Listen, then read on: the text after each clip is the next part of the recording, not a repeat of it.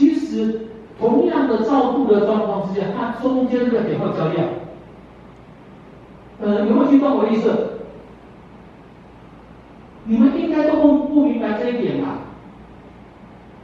你们会以为说，相机按下快门的时候，我所看到的那个亮度，它平均的这样吃进来，它都是一样的，其实不会一样的，它会略有差。中间的那个部分呢，它会亮一点点。啊，原因是什么？各位知道吗？